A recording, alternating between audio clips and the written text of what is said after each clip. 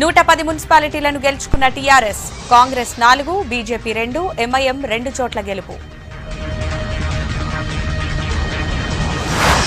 కాంగ్రెస్ ఫిరాయింపులతో టీఆర్ఎస్కు సీట్లు మేడ్చల్ నేరేడుచర్లలో రేపటికి వాయిదా.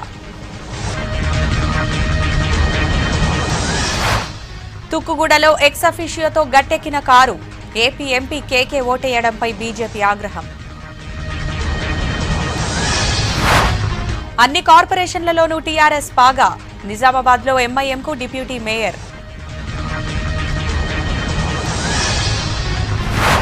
కాంగ్రెస్ బీజేపీలది అపవిత్ర పొత్తు. ఎంఐఎం సహకారానికి కృతజ్ఞతలు చెప్పిన కేటీఆర్.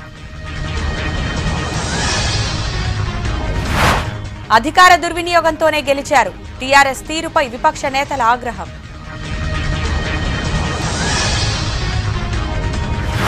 కొత్త సెక్రటేరియట్ డిజైన్ ప్లానింగ్కు ఓకే. ఫిబ్రవరి పన్నెండు వరకు రిపోర్ట్ ఇవ్వాలన్న హైకోర్టు.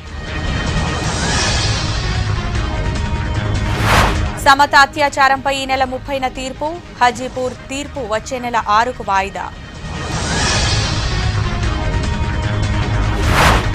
మండలి రద్దు తీర్మానానికి ఏపీ అసెంబ్లీ ఓకే. ప్రజా ప్రయోజనాల కోసమేనన్న సీఎం జగన్.